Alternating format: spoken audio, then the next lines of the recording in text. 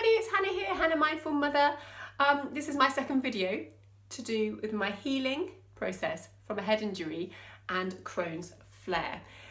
So I just feel so much better today and I wanted to share with you one of the techniques I use to really help me in my healing process.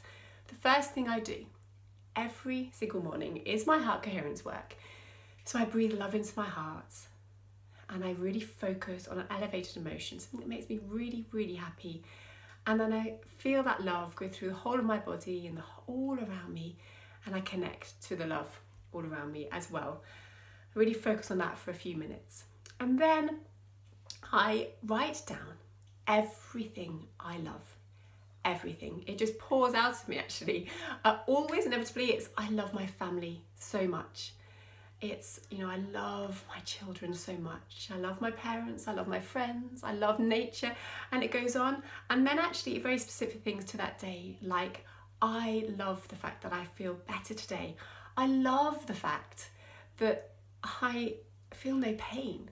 And it goes on and the list can go on. I love. Then i write down my intentions. Now my big intention through this one is to be in the best health i've ever been by Easter. Because I feel that I'm recovering really quickly now through this. I feel it's a, each day I'm getting stronger. My energy levels are taking a little bit of time to get up, but I really feel I'm getting stronger every day and I can feel the love every day and I feel peace in my heart every day and it's just amazing. I when I recovered from Crohn, the Crohn's flare last time, I was able to come off a medication and I felt amazing. Um, however, I still, still did still have some side effects from the flare from before. And now this time, I am determined to also heal those things that happened. Because when you have a flare, obviously you can end up with other problems. And I really believe that we can heal those things that have happened to us. If you think about it, our cells are changing all the time. It's just remarkable when you think about it. We are not the same person seven in seven years from seven years before. We are a completely different person. Our cells have completely renewed, every single one of them. So if that's the case, what we need to make sure we do is pour love, pour joy, pour happiness into those cells as they're replenishing, as they're growing, you know, as they're changing. We need to be positive. We need positive thoughts. And if that's getting into our cells, then the new cells that grow are going to be healthier and stronger and just are going to you know bring us so much more strength and health. It's just amazing. So just remember that guys our cells are changing all the time. So of course we can heal. Of course we can. It's just amazing when you think of it like that. So then my big intention is to be the best I've ever been by Easter, like I said. And then I have my smaller intentions, which will be tomorrow I'm going to have a good day. Tomorrow I'm to go to the bathroom quickly. Tomorrow I'm to have less pain. Things like that. And I really, you know, set those intentions. And then I write down decisions that are going to be in line with those intentions. So it might be I'm going to take my probiotic every day. I'm going to have three pints of water every day. I'm going to have my spirulina every day. Um, spirulina is an amazing, amazing algae that's full of B vitamins and uh, iron and lots of other things that are really amazing. So I will share that with you and I'll share the one I use as well because it's so lovely. It's, excuse me, absolutely brilliant. So then that's my decision. So everything I love, my gratitude practice, then it comes to my intentions and then my decisions. And every decision I make needs to be in line with my intentions.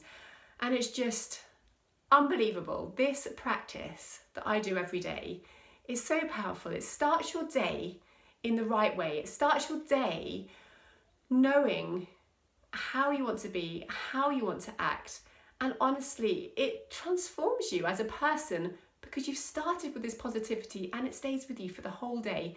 And then, you know, if you then do your meditation that evening, then through the night, and then you wake up feeling positive, and then you do that practice again, and it, it continues and honestly it's it's really quite incredible the power so please give it a go so it's gratitude practice then write down your intentions and make sure all your decisions are in line with those intentions and then the last thing i want to share with you today is that if you want to change anything about yourself, if you want to change your health, you want to be healthier and you want to be better and you want to recover from an illness or a flare or whatever it is, you need to change what you do. You need to become a different person.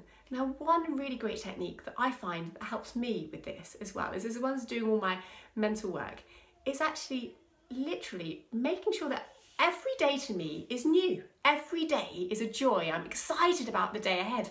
And one thing I find that really helps me do this is deciding to have a fantastic breakfast. So yesterday I went to the shop, a completely vegan shop, amazing. So we got some granola, beautiful granola that wasn't too sugary actually, which was good because you don't want to have too much sugar as a Crohn's sufferer. Don't have too much sugar because it's remember it's inflammatory. Um, and then I got some vegan croissants, which were beautiful and really, really nice, really nice. And um, remember, you can have sugar-free jam with that. Although also we did have my mum's homemade jam, which was very delicious.